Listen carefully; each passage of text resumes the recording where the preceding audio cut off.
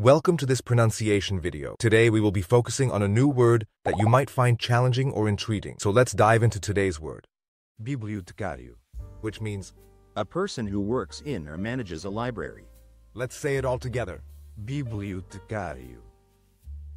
Bibliotecário. Bibliotecário. One more time. Bibliotecário. Bibliotecário. Bibliotecário. Thank you for joining us on this adventure in pronunciation. Remember, language is a journey, not a destination. Keep exploring, experimenting, and expanding your linguistic horizons. We'll see you next time.